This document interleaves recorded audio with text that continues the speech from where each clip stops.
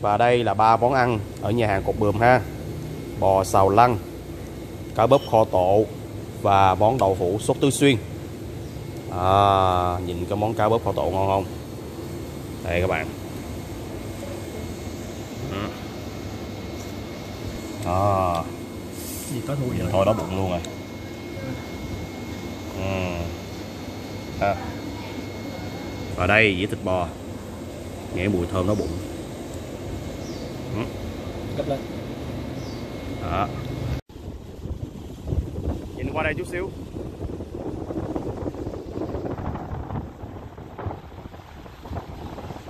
Rồi ok đi vô đi.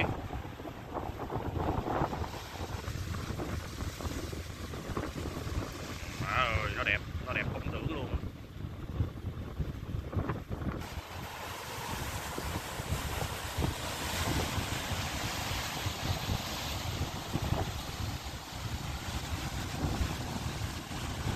Và đây là bãi biển Vịnh Triều Dương.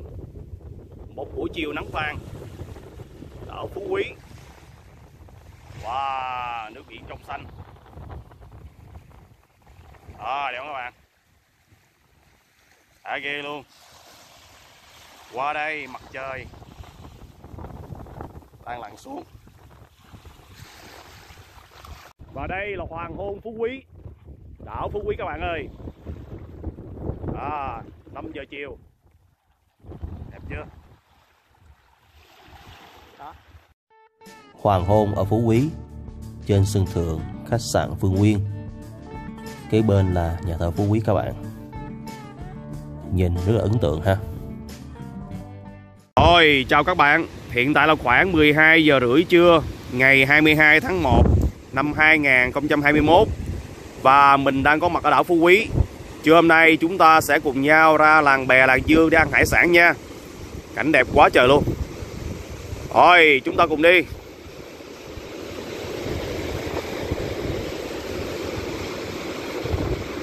Rồi các bạn, mình đi tìm à, làng bè làng Dương nha. Hôm nay sóng biển cao quá, không có khách Nó không có mở bán. Và mình chạy lại đây nè. Đây là quán hải thấm hôm qua đã ăn. Kế bên là có quán cột bườm Và mình quyết định đến quán cột bườm để ăn trưa ha. Buổi trưa ở ờ, đảo Phú Quý dạo này rất ít ờ, quán ăn và nhà hàng mở cửa các bạn nha. Rất ít luôn á. Hôm qua tối mình có đến ờ, cái quán ăn Thiên Ý, Nằm trên đường Võ Văn Kiệt, Thì ở đó cái món cánh gà nướng. Phải chứ, cánh gà chiên giò rất là ngon. Rồi món tôm hấp bia cũng ngon. Và món mì xào hải sản cũng được lắm. Mà cái giá từ 70 tới 80 thôi. Còn bây giờ là nhà hàng cục bườm ha, chúng ta vô trọng thực tế thì mình đã vô rồi và mình đã gọi ba món. Này, cột bơm. Giá đây khoảng độ 80 tới trăm hơn. Đó các bạn thấy nè, ở đây buổi trưa thì lại vắng, buổi tối thì sẽ đông. Ừ. Dạo này à, đảo Phú Quý ít khách, bạn ơi. Ừ.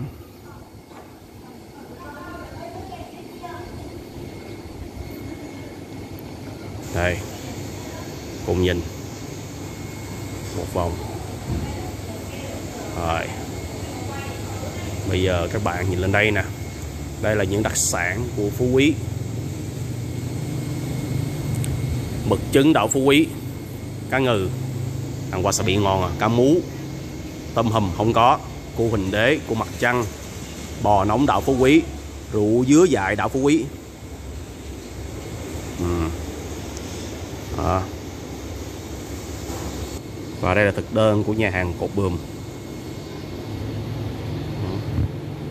Nghe nói bò ngon, mình gọi bò xào lăng nha. 90.000 đồng một dĩa. Kế bên có cá kho tộ ở đây chỉ có cá kho tộ chỉ có cá bóp thôi. Ăn cá bóp luôn. Cá đảo chiên giòn thì ờ, tùy lại cá phải đặt trước nữa. Ừ. cá kho tộ 90 nha canh chả cá khổ qua 90 các bạn thấy thực đơn ha. Các loại rau xào có giá 35 tới 40 ngàn đồng. Và mình có gọi thêm món nữa. Đậu hũ, cột bườm, sốt tứ xuyên, có nghĩa là cây ha. Giá 60 ngàn đồng. Ừ. rồi, một số loại khác, nhum biển nướng 28 ngàn đồng hầu đá nướng thời giá. Ốc hấp xả 110 hầu hấp xả theo thời giá. Mực trứng hấp, mực chiên mắm 100 ngàn, mực ôm trao 85 ngàn đồng cá mú hấp Hồng Kông theo thời giá, cá đảo nướng mọi theo thời giá. Cơm cá mặn 70 bò đảo nướng ngũ vị 110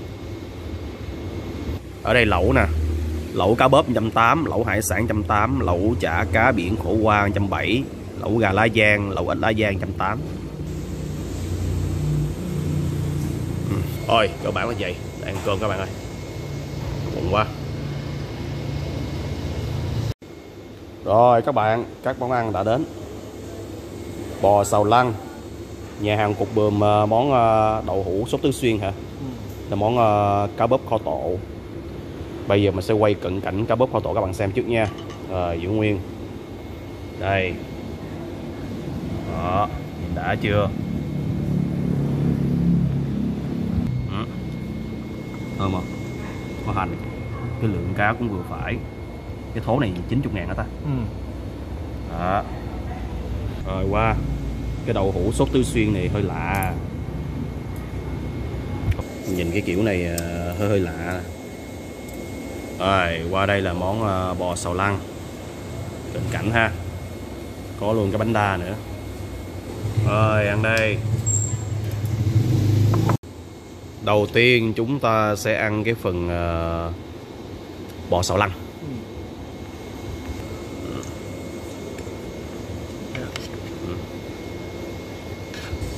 Và mình đã ăn cái phần bò nha các bạn. À, đầu tiên nói về cái phần sốt của nó. À, sao ta? Cũng khá đậm đà cây thơm cây nhẹ nhẹ đậu phộng ngon. Riêng cái phần thịt bò thì nó dai dai nói chung mềm mềm dai dai. Có luôn cái phần gọi là phần da nó nữa nói chung món này được. Mà đối với mình không phải là xuất sắc. Riêng cái món gọi là nhà hàng cục bườm này nè đậu hũ tứ xuyên. Thực tế nó không phải là đậu hũ tứ xuyên vậy đâu. Chẳng qua nó là đậu hũ non còn phần sốt cho là dạng dạng sốt tương cà với mazone nói chung là họ lấy cái tên vậy thôi các bạn nha. Nhưng mà lạ ăn ừ ăn là lạ thôi ăn là lạ thôi. Chứ mà nói là không phải là kiểu của đậu hũ tứ xuyên đâu đối với người đã từng ăn đậu hũ tứ xuyên. Nói chung là lạ ok ăn được. Đây chính xác là vậy nè. Đó tương cà sốt mazone nói chung ăn nó ngọt ngọt. Ngọt cay cay béo béo nhẹ lắm. Béo béo béo, Ờ, béo từ từ đậu hũ chứ từ đậu hũ và cái phần sốt ít. Nhưng mà cái đậu hũ tươi đậu Ừ. không? Bị khô. Ờ đậu hũ thì ngon nhưng cái này là không phải là đậu hũ tứ xuyên thôi rồi. Đó thêm ớt riêng cái phần cá bóp kho thì ngon các bạn. Xuất sắc. Ừ. Ờ, nếu như mình mình sẽ cho nó đậm một chút xíu thêm chút xíu nước mắm kẹo nữa. lại thôi, nhưng mà ở nó kẹo lại. Sắc rồi nó là ngon rồi. Đó. Như vậy thì hôm qua tới giờ mình ăn từ ờ, hải thấm qua tới cột bườm thì mình thấy là về cái phần lẩu cá bóp lẩu hải sản lấy lấy cá bóp sẽ ngon là cá bóp đem kho tộ ngon.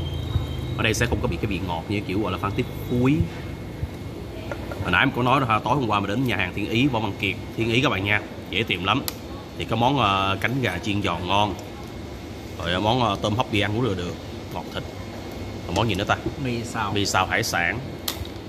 Mì ok bò luôn. mà, mì xào bò mà. Ờ mì xào bò ok luôn. Hôm qua cái phần đó 70 80 Ừ. 70 ha. Tính ra cái cái cái giá nó mềm nhất luôn á trong trong ba quán mình ăn á. Cái quán cột bờm này có giá cao nhất trong cả ba quán luôn. Chấp nhận được. Rồi ăn hết đây. À, gọi là xuất sắc ở ờ, đảo Phú Quý gì mà có ăn thì không phải là đảo là xuất sắc nhưng mà nó là được.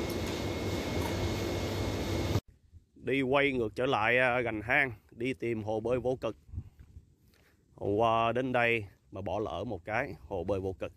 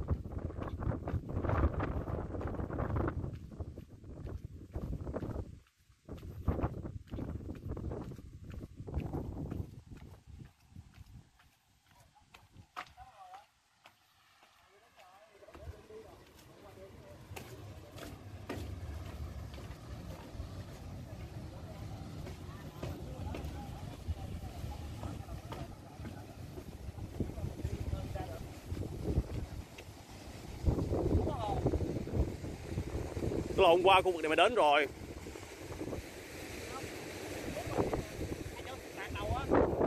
Ủa vậy hả?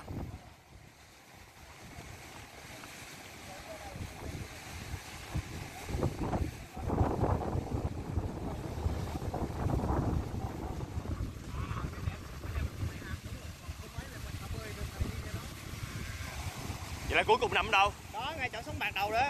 À. Hồ đó đó bản này nước lớn không có Ah. Aí é um arara aí.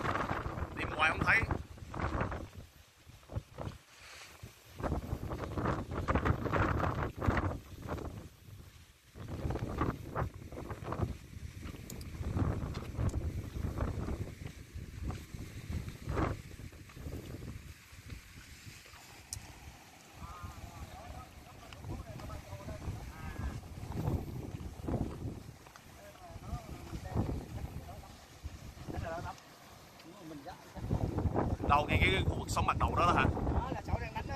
Đó đó, đó, nó nhô nhô đế đen lên đó đó. Đá đen đó là cái dạch hồ á. À là cái danh hồ đó hả? Chỗ đâu ai tắm được đâu ủa đi bộ ra được. Có đường đi bộ luôn hả? Ê. nhưng mà ngày nào mới xuống được chứ chứ? Wow. Tôi nghĩ là hôm qua lớn bữa nay nước thấp thì sẽ đánh được. Ờ. à cái đó gọi là hồ bơi vô cực đó hả? À đó đó bây giờ đúng không? Rồi đó. Nó hiện ra đó. Cái là hồ bơi vô cực. Ừ. Ai bơi được không? Ừ. có người xuống tới đó luôn hả chú? Ờ. Ủa vậy hả? Rồi. Đúng rồi. Hồ vô cực. Đó là đây. À, hiện tại là khoảng độ 4 giờ rưỡi chiều các bạn à, chiều hôm nay nắng vàng rồi nè. Đó bầu trời trong xanh ha. Mình trở lại vịnh Chiều Dương để tắm biển. Sẵn quay luôn khu vực uh, cây dương các bạn xem nha. Đó. Rồi nhảy xuống. Tung. À. đây. Hàng dương. Ở đây có bán nước nha bên phía tay phải của mình. Tiếc là đang mở nhạc đó. Từ hồi làm video cái mình sợ nhạc vậy đâu á. Về nhà phải ghép nhạc mệt lắm. À, Vịnh chiều Dương.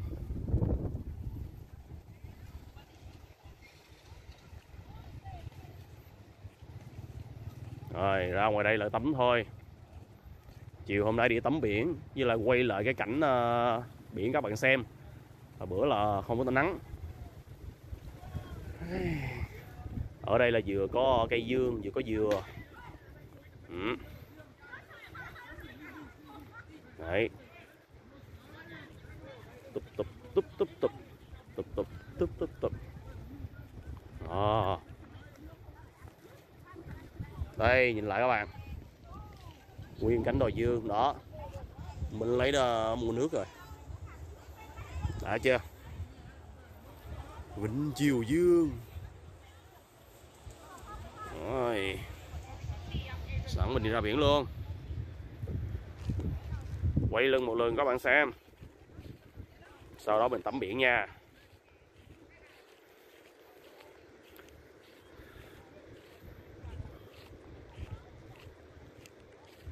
À kỳ vậy. Khu vực nước nguy hiểm. Ta phải đi ra xa hơn mới tắm được.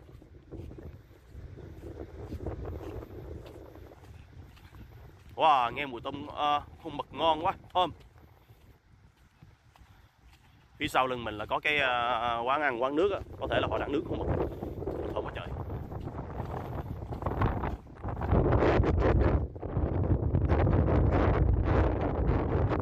Cái mình thích nhất ở đảo Phú Quý này chính là người dân các bạn rất là thân thiện thân thiện lắm luôn á. Từ hôm qua tới giờ mình thích. Rồi uh, cái thứ hai nữa là cái cảnh sắc đẹp. Ờ, cảnh sắc Phú Quý đẹp. Phải là ấn tượng đặc biệt là những cái gành đá đó. Chỉ có một điểm mình không thích là gì biết không? Là buổi tối nó sẽ hơi buồn các bạn. Thực ra cũng có sẽ có nhiều quán nhậu rồi có quán cà phê. À, tuy nhiên nếu mà đi mà dạng như đi ít người á thì nó hơi buồn một xíu. Nó không có dịch vụ gì hết á. Buổi tối thì chỉ có đi nhậu hoặc là uống cà phê rồi đi ngủ thôi. À, cái điểm nữa là mình không thích là ở chỗ là đôi khi có nhiều nơi nó có rác cũng may ở chỗ là cái vịnh chiều Dương này nè. Ngay khu vực bãi biển này lại không có rác mừng lắm. Đó. À, bữa nay các bạn thấy không?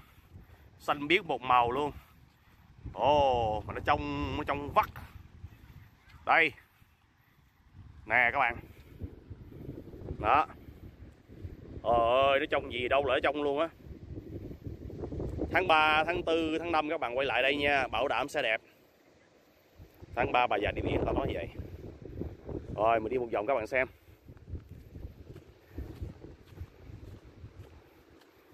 Đẹp quá luôn. Đi thẳng ra ngoài kia. Một lát mình sẽ ra ngoài kia mình tắm. Ở đây cát là cát vàng các bạn nha. Và cũng khá là mịn. Đây để mình quay hạt cát bạn xem. À, giỏi một xíu Mình thấy không? Con nước. Ở đây sóng không mạnh ra tới ngoài kia là bảo đảm. Bùm bùm bùm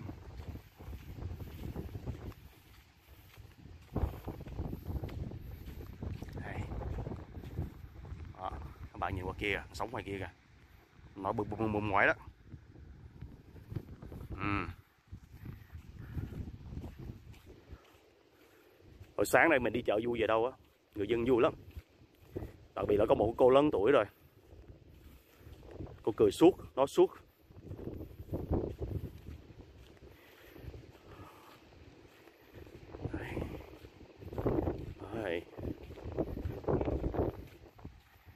Vịnh Triều Dương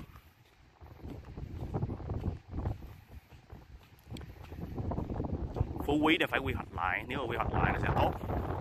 Và mình thấy là cái số lượng uh, khách sạn nhà nghỉ cũng nhiều các bạn nha phải nói là nhiều đó. À, tập trung nhiều ở xã Ngũ Phụng cái nơi mà mình à, có cái nhà có cái khách sạn gọi là Phương Nguyên mình ở đó kế bên nhà thờ Phú Quý. Đó. và cái chợ mà chợ xã Ngũ Phụng chợ đảo Phú Quý hồi sáng cũng là chợ lớn nhất luôn. Đây còn sống lăn tăng à, nước màu vàng vàng vàng vàng vàng vàng vàng vàng vàng ống ánh chưa? Oh. Đã vậy đó. Rồi tiếp tục đi.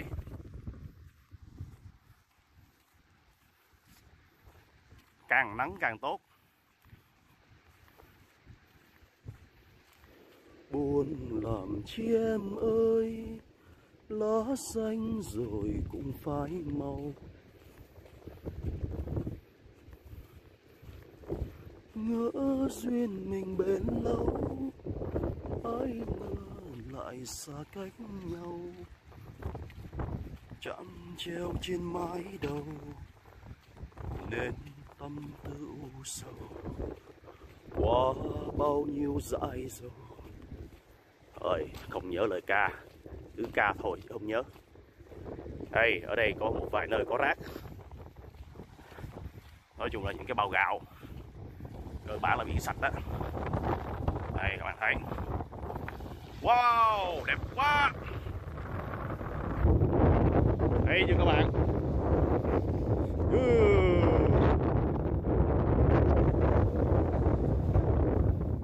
Đây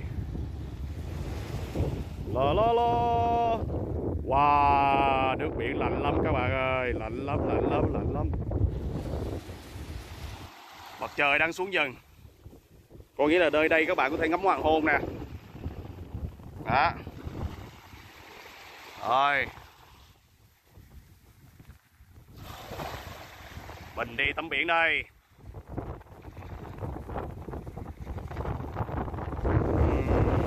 Quá. Mình tắm biển các bạn nước cực kỳ mát luôn phải nói là mát lạnh nha. Và ở đây là nước nông thôi.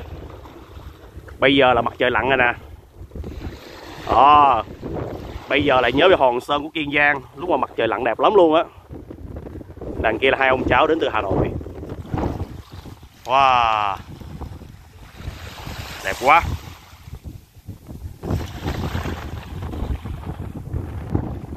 Đó các bạn thấy rõ mặt trời không? Mình hạ sáng xuống đó. Uh, loang loáng ha. Bây giờ mấy giờ ta? 5 giờ đúng không? 5 giờ chiều. Phú Quý